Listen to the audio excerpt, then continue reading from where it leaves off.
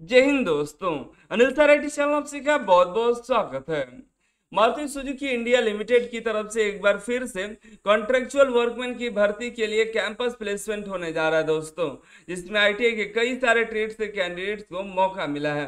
कौन कौन से कैंडिडेट्स एलिजिबल हैं, कहाँ पर कैंपस होने वाला है, क्या क्राइटेरिया है, पूरी जानकारी के लिए वीडियो को अंत तक देखिएगा।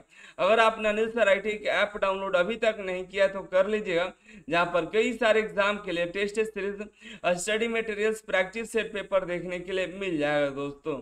तो आज ही जाकर के डाउनलोड कर लीजिए और ज्वाइन कर लिए जो भी आपके लिए एप्लीकेबल टेस्ट है।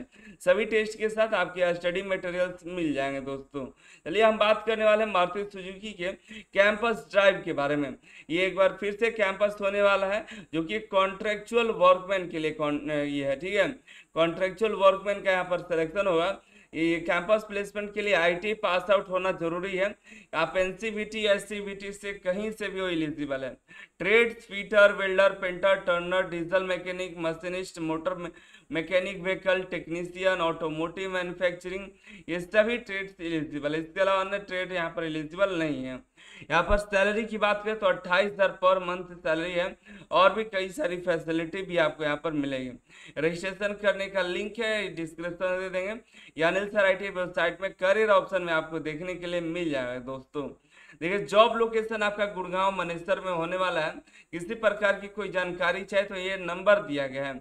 इस पर कॉल करके आप जानकारी ले सकते हैं। मिनिमम एज आपका 18 साल मैक्सिमम अट्ठाईस मैक्सिमम 26 साल रखा गया है। ये कैंपस प्लेसमेंट 28 मई को आयोजित होने वाली है। या और कैंपस प्लेसमेंट तक्षशिला आईटीआई है, शारदा मंदिर रोड, शारदा चौक, मदन महल, जबलपुर में, ठीक है? कहाँ पर कैंपस होने वाला है? तो तक्षशिला आईटीआई शारदा मंदिर रोड, शारदा चौक, मदन महल जबलपुर, मध्य प्रदेश, ठीक है? इस कैंपस प्लेसमेंट में मध्य प्रदेश के कैंडिडेट जा सकते हैं। जैसा कि आपको मालूम है कि जहाँ पर भी कैंपस लग रहा है, वहाँ के राज्य को ही कैंडिडेट को मौका मिलता है तो यहाँ पर कैंपस हो रहा तो यहाँ के कैंडिडेट को मौका मिलेगा। और देखिए, एक बार जाने के पहले जो भी आपको डाउट है इस नंबर पर कॉल करके या बात करके ही ज़रूर जाएगा ठीक है? क्योंकि आपके मन में जो जो सवाल चल रहे हैं, ये आपको मिल जाएगा, ठीक है? देखिए सैलरी की बात करें तो यहाँ पर अट्ठाईस सैलरी है।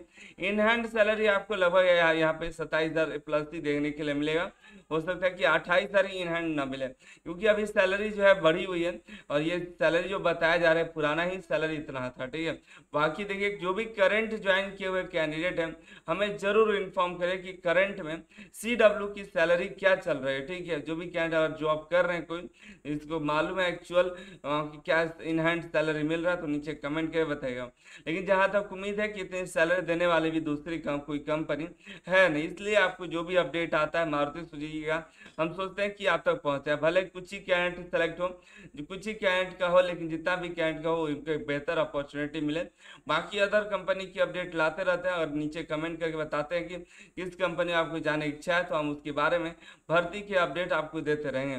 फ़िलहाल मिलते हैं अगली वीडियो में। अगली जानकारी के साथ के एक कैंपस प्लेसमेंट है, जिसमें आई टी कई सारे ट्रेड्स जाने वाले हैं।